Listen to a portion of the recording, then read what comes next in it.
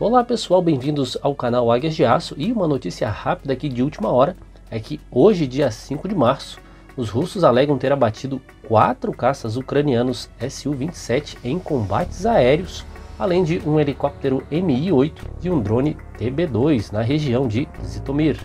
Até o momento, nenhum desses abates foi confirmado visualmente também não há relatos de destroços. E também não foi informado que tipo de aeronaves russas estariam envolvidas nesse combate.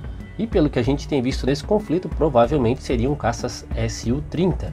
Mas o porta-voz do Ministério da Defesa russo afirmou que os quatro jatos foram derrubados em combate aéreo.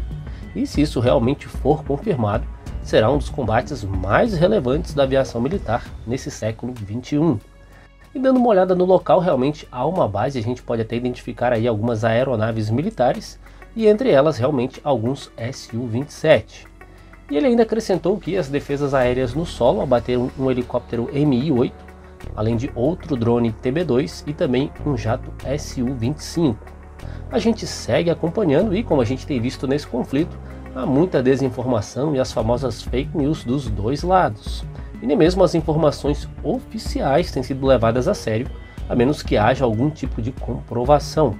Assim como a gente viu naquele vídeo de hoje, que são confirmações irrefutáveis. Mas a gente continua de olho e quaisquer novidades sobre esse suposto combate aéreo, a gente divulga para vocês aqui no canal e lá no nosso Instagram. Um forte abraço a todos vocês e até a próxima!